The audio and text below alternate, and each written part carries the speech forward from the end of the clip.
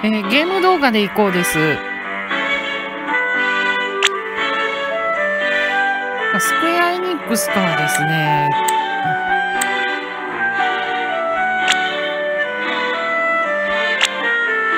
アンケートの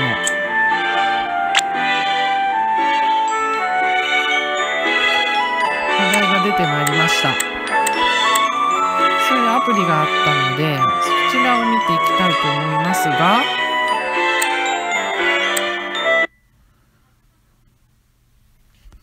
なんだろう、これは。しかしみんな頭身高いよな。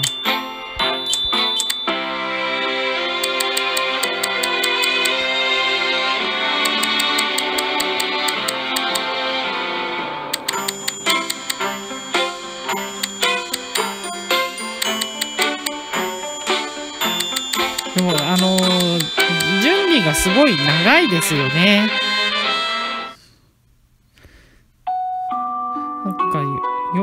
イズがあるというらしいですけど、お来たいよいよ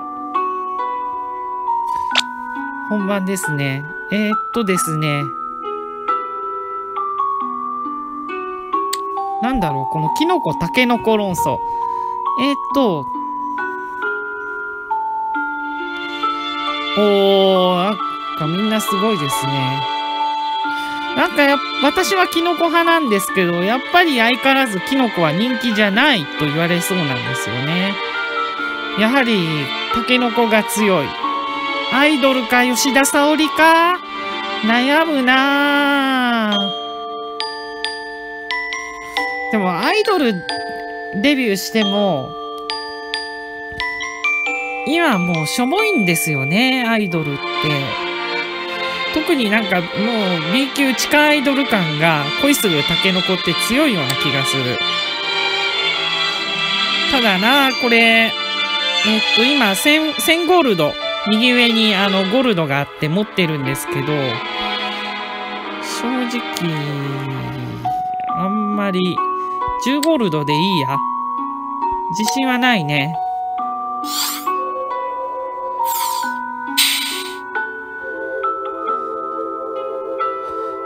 チョーク少女になりました。戦わないといけないんですか？戦わないと。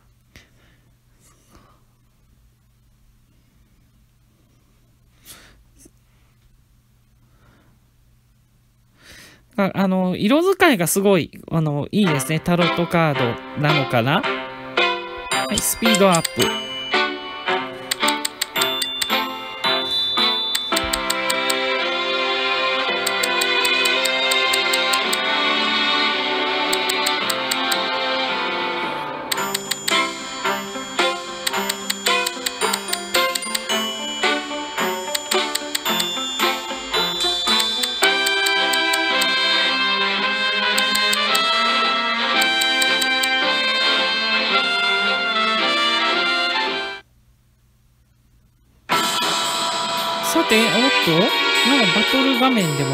もあお、ツインテですね。はい、戦います。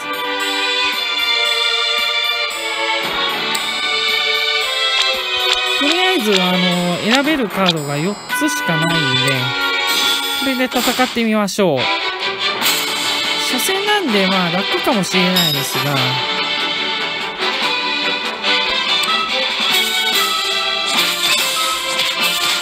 なんか勝手に進んでるが、なんだろう。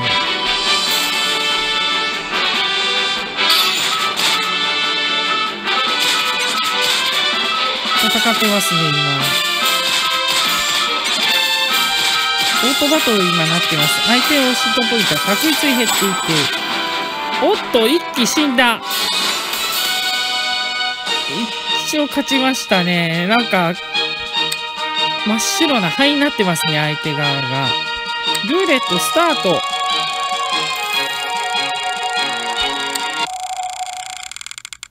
おお、はぶね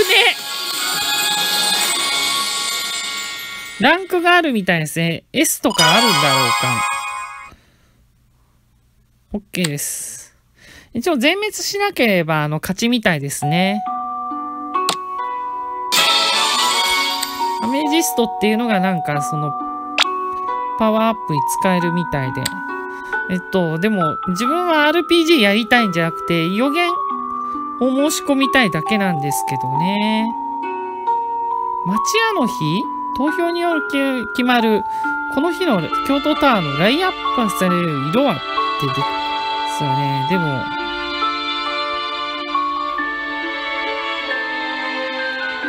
鉄道ファンクラブに最初にプレゼントするゲストはとかありますね。いろいろ選ばれてる。アカデミー大賞は終わったな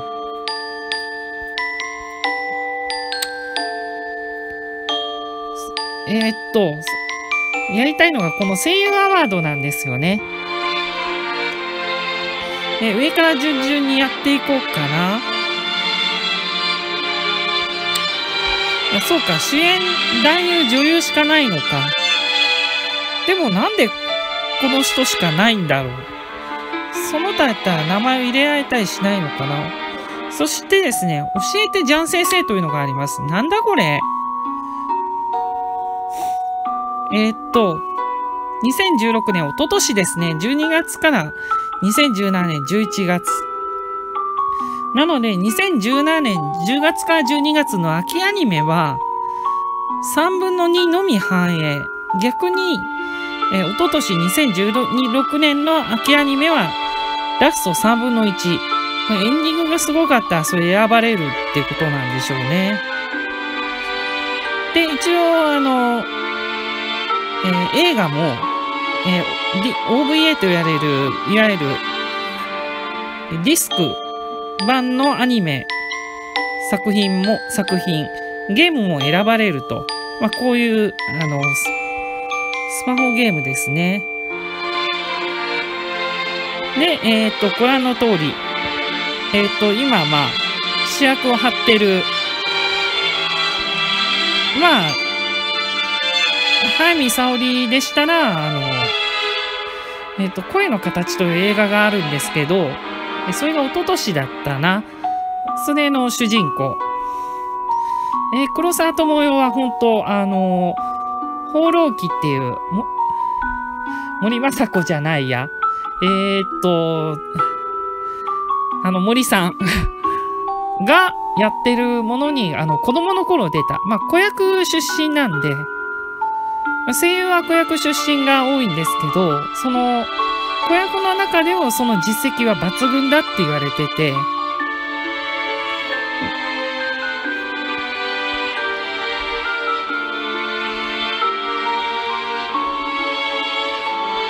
いろいろ出てる人。はい。えー、3番の結城さんは、えー、っと、まどかマギカって、まあ、わかる人はわかるかなと思うんですけど、その主人公の人で、えー、6年前に1回、この、あの、第6回だな、第6回の声優アワードの主演女優賞を取ってます。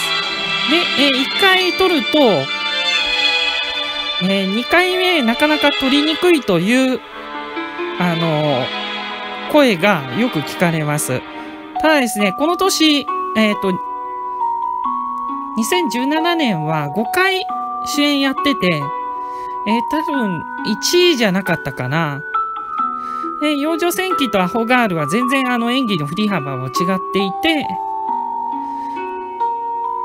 えー、っと、その多様性を見せつけたという1年でした。そうそう、あのー、いや、一方で1番の早見沙織っていうのは、あの、掛け狂いは見たことないんですけど、えー、っと、エキサイティングな演技をしたんじゃないかっていう。自分の見る早見沙織ってなんか、うー、ファンの人がすごい言ったら怒ると思うんですけど、なんかふわっとした同じような、まあ、声が同じだから仕方ないんですけど、演技もそんなに変わってないような感じはありますね。ただ、あの、和ませてくれるというとこはあります。えっ、ー、と、飛田美優。これすごい、あの、まだ二十歳行ってなかったんじゃないかな。ガウリルドープアウトっていう、まあ、天使と悪魔が出て、出てきて、なんか学生にな、学生として、なんかやる、まあ、コメディ調のアニメなんですけど、その主人公、まあ、天使側の方をやった人ですね。で、メイドインアビスというのがかなり、えっと、メイドイン、えー、アビス、えー、獣フレンズ、宝石の国っていうのがあるんですけど、黒沢智代が宝石の国で、えー、メイドインアビスが富田美優というほど、まあ、話題になった、えー、テレビアニメですね。三平、ああ、ボルトなのか。まあ、昔から活躍してて、少年声が強い人。ですね。沢城みゆきとかと、まあ、ほぼ同世代で、あ全く同世代な、同世代ですね。年も同じで、え、子役出身者だったはず。つぐももあったな、そんなの。で、えー、っと、花澤香菜。これが、まあ、露出もする、あの、声優さんで、えー、文春、去年の3月だったかな、ぶあの、同じ声優の、男性声優の小野賢章と、あの、文春法にあったっていう人なんですけど、まあ、なんていうか、艶やかな声のある人で、まあ、ヒロインに多く起用されるということで、もう夜は短し歩けよ乙女っていうのは映画で、恋と嘘、それから桜なりセットというのがあるんですけど、これらみんなヒロインで、まあ、ヒロインが向いてる、透明なある声透明な声の声優さんですね。まあ、そういったなんかすごい凄みある演技をして、そちらが実は本性だと言われてもいるんですね。で、えー、内田彩、えっ、ー、と、獣フレンズか、やっぱりそうですね。獣フレンズでは、えー、カバンちゃんをほか3役をやってます。これやっぱり強力ですよね。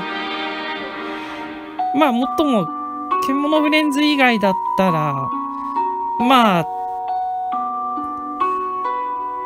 えー、っと、曖昧ミーという、えー、ギャグアニメと、チェーンクロニクルというセガの、えー、RPG をベースにした、これは、えっと、曖昧ミーは2番目のキャストで、まあ5分アニメなんですけど、えっと、チェーンクロニクルは、まあ、一応メインかなという程度で、やはり、あの、内田屋は、あの、実績としては、獣フレンズなのかなと思います。そういえば、まあ、テレビ番組出てて、あの、幕張のライブでなんか、転落した時の話をして、やっぱり落とされてましたね。で、えー、これ展望で書かれてますが、なるほど。つまり、これなんですよね。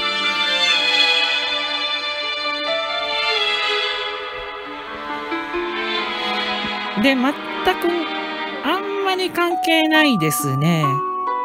関係ない。ただ、支援を取ってると、うーん、やっぱりマイナスなのではないかなという感じで、ご覧の通り、えー、っと、去年は、あれですね、君の名はですよね。で、えー、っと、神田沙也、9回目の神田沙也加は、えー、アナ雪。これの声優をやったと。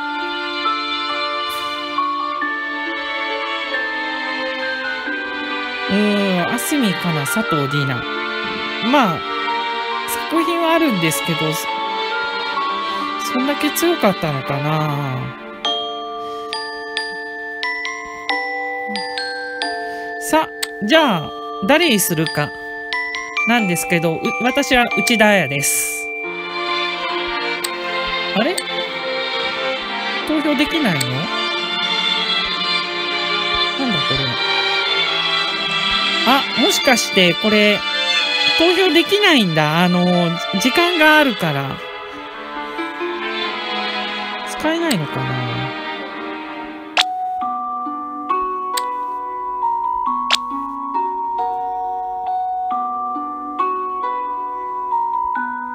お、下にはなんか書いてますね。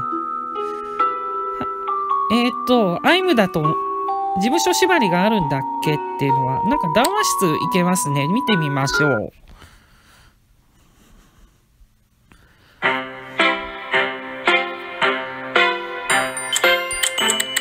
あ、これ、談話室を説明を書いてるだけなんだ。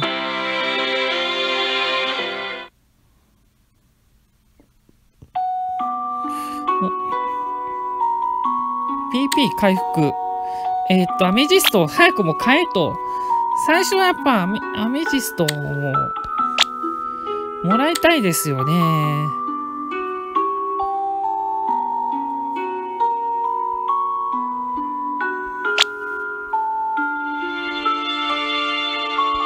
これどうやって見るんだろう。やめた。はい、えっ、ー、と、談話室に来てみました。えー、っとですね、4、あ富田さんですね。えー、っと、ちょっとあの、早いんじゃないかなと。それだったら、あの、花森ゆみりレベルでも、あの、チャンスあるんじゃないかな。ちょっと他が強すぎる、は、強すぎるんじゃないかなと。ああ、なるほど。あのー、黒沢智代は、あのす、すごい、えー、っと、宝石が変化するときに演技が変わってきたんですよね。やっぱりそういう振り幅、黒沢智代すごいなって思う。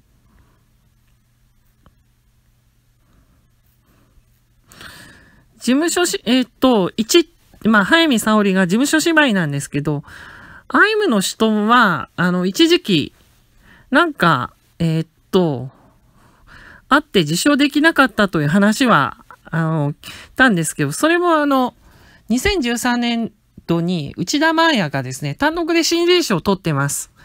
それ以降は多分ないと思うし、それ以降もアイアイムの声優さん、あの、毎年のように受賞してますからね。大丈夫だと思います。なるほどな。ぶっちゃけ演技がどれだけ良くても作品人気で決まる賞なんだから、まあ、えー、っと、ケモフレの内田彩一択。うーん、そうですよね。ここ最近だと、そうなのかなって思いますね。例えば2015年の水瀬祈りもご、ご中佐とか、他にもい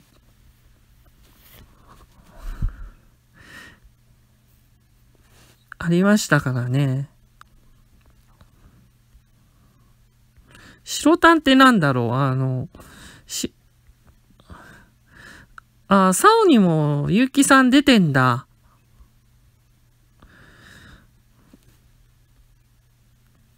サーバル、ケモフレなカバンよりサーバルになりそうだけど、まあ、特徴はあるんです。あの、三つを理由で内田彩の方があるとは思うんですよね。一つは、あの、クレジット順。えー、内田、まあ、キャリアが、サーバル役の尾崎優香。まあ、ほ、あの、2016年デビューで、実質2、3作目ぐらいじゃなかったかな。なんで、まあ、キャリアがなかったんで2番手になったと。まあ、あの、キャラとしてはサーバルの方がいいのは確かですよね。で、もう一つがですね、内田彩が3役やって、あの、カバンちゃんの他にですね、その、えー、カバンちゃんサーバルと一緒に、あの、旅をした、か、えっ、と、ロボ、人工知能型のロボットみたいなえー、機械、えー、っと、まあ、ボスと言われてるんですけど、そのボスの声も、あの、ボイスチェンジ使ってや、やってます。で、えー、そのボスが、まあ、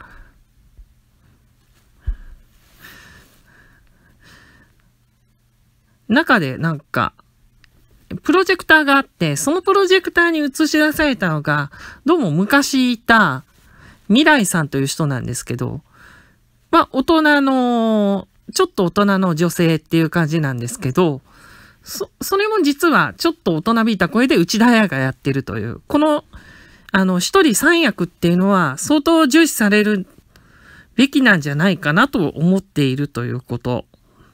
それからですね、尾崎優香は新人賞、あの、の権利があります。新人賞は、あの、最初にアニメなどで声を当てた作品がリリースされてから5年です。なので、えー、っと、飛田美優の話もあったんですけど、尾崎優香は新人賞を取らせるんじゃないかなと。例としまして、えー、っと、第1回、えー、っと、これが2006年度なんですけど、この年って春日だったんですよね。非常にあの、この時と似てるんですけど、この時、あの、まあ、春日のトップクレジットは、え教役の、え杉田智和だったんですね。で、えー、っと、そのタイトルの春日をやった平野綾は2番目のキャあの、クレジット。で、まあ、この平野綾も子役で、出身で、えー、2001年、天使の尻尾から実績があって、春日が2006年だったんで、まあ5年、飛び飛びでやってましたし、さらに、えっと、2005年には、あの、ジャンプアニメも、あの、声もやってるんで、それなりに実績はあったんです。ただし、まあ、トップクレジットじゃないのか、キャリアが足りなかったのか、わからなかったんですけど、春日は、としては受賞せずに、新人王、新人賞になりました。うん、新人賞、そういえば、2001年デビューだから、その当時5年で変わらないんだったら、ギリギリなんだろうな。だから新人賞を取らせたのか。で、えー、取ったのが、あの、鋼色錬金術師だったと思うんですけど、に出てたパク・ロミさんが、えー、その時の第1回の声優アワードの主演女優賞をと、主演女優賞でいいのかを取ってます。で、平野綾は翌年、えー、ラキスタというアニメがあって、今回、その時はあの、コナタ役だったんですけど、このコナタ役がトップクレジット。ということがあって、えー、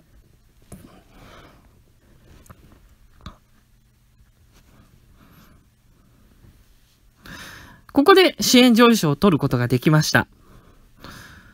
で、えー、っと、尾崎ゆかに翻ってみると、それはあの、2006年の平野綾じゃないかな。ただし、あの、平野綾に比べたらアニメに出てないんで、落ちるんじゃないかな、ということと、まあ、新人を、新人の権利がある。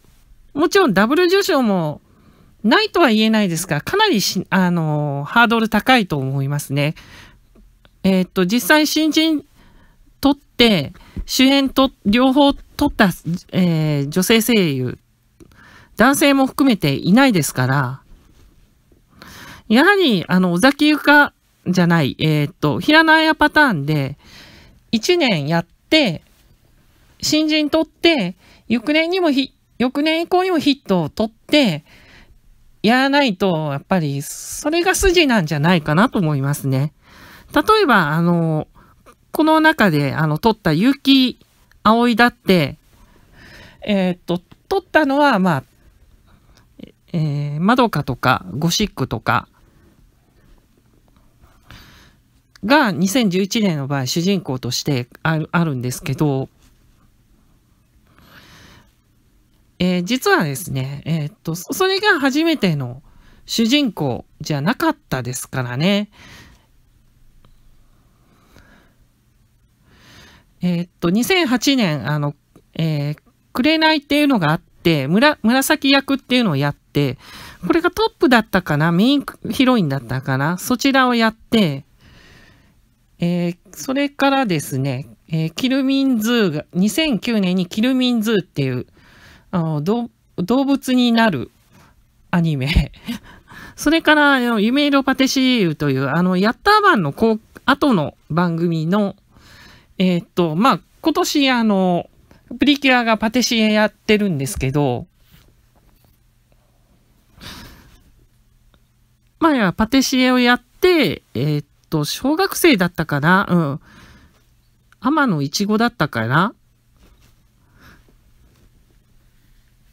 で、なんかその小学生並みの恋愛もするというか、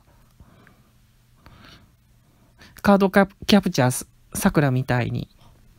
そういう役をやってたんで、実績はあったんですよね。で、2010年がそれでも街は回っているか。それやってたんで、えー、っと、当時の、えー、某2ちゃんだよの、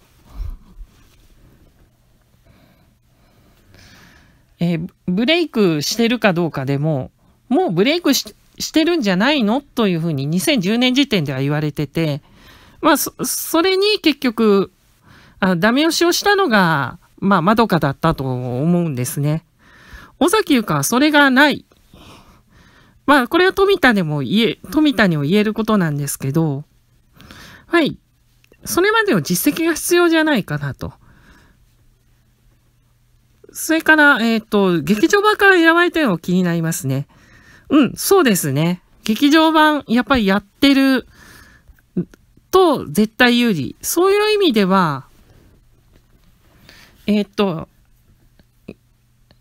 当てはまるのが、2番の黒沢智代、えっ、と、ユーフォニアム。まあ、テレビアニメにしたものを劇場版にしたもの。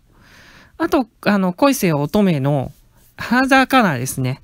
花沢香菜、えっ、と、この恋せよ乙女、アカデミー賞のアニメ賞を受賞したんですよね。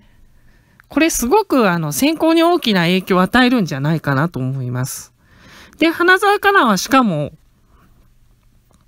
主演女優賞、一回も受賞してません。えー、っと、2006年、まあ、これはトップクレジットじゃなかったか。ゼーガペインから、えー、っと、ずっと、まあ、トップを走り続けてきてる、あの、女性声優さんで、まあ、エースって言ったら、花沢香菜、戸松遥か、早見沙織、それから、まあ、水瀬はまだかな、もうちょっと欲し実績欲しいとこなんですけど、そのあたりだと思ってるんですけど、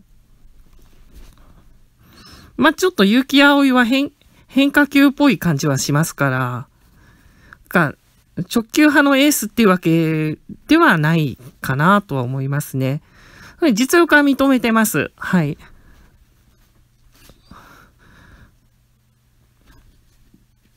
だからやっぱり花沢香菜の元へっていう実績っていうのはすごいなと。ただ一回も取れてない。で、結構、あの、ヒットは飛ばすけど、ヒットは飛ばすというか、支援女優にはなってるんだけど、散発的なんですよね。主演女優になって言って、賞は受賞してないですね。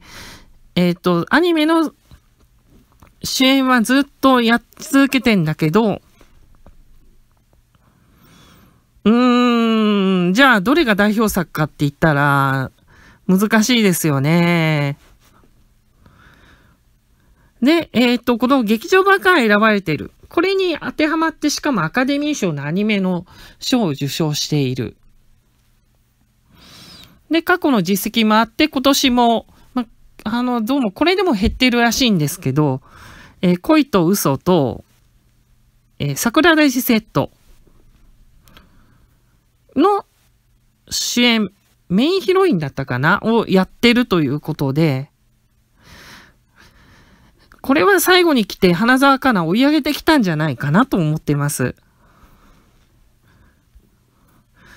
うん、個人的には、あの、内田彩菜に、内田彩もう、あのラ、ラストチャンスだと思ってるんで、内田彩に取ってほしいとは思ってるんですけど、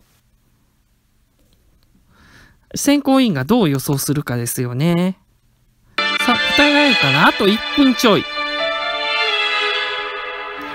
うん、一番人気が、早見沙織なんですよね。え、っと、もし早見沙織が選ばれるとしたら、じゃあどうすればいいかって言ったら、まあ、過去の実績をどう見るか。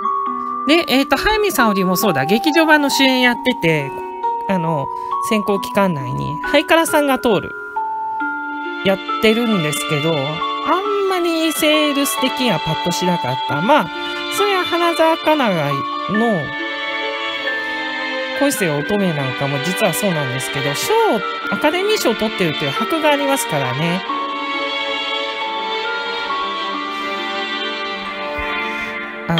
オッズ的に美味しいのは黒沢智代だよな。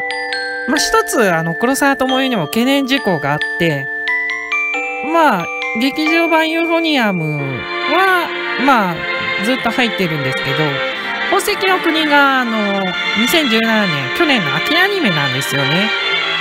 秋ということはラストの1ヶ月は入ってないということになるんですよね。それがどう、あの、黒沢智代は判断されるのか。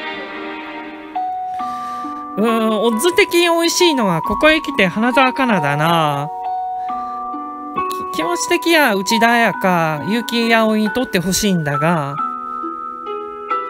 オッズで妙味があるのは俺、花澤香菜だと思うんですよね。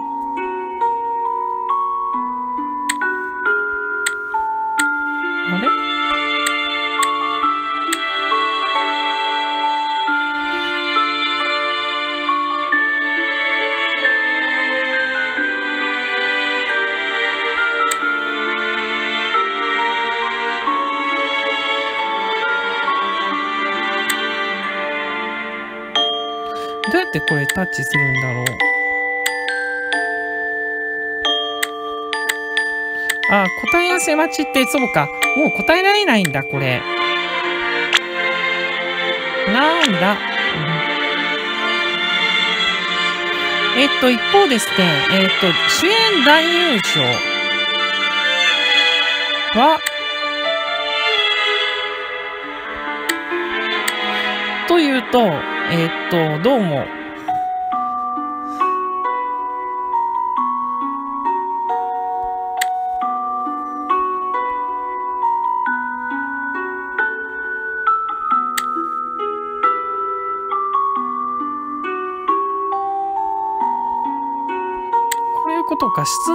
終わったのか。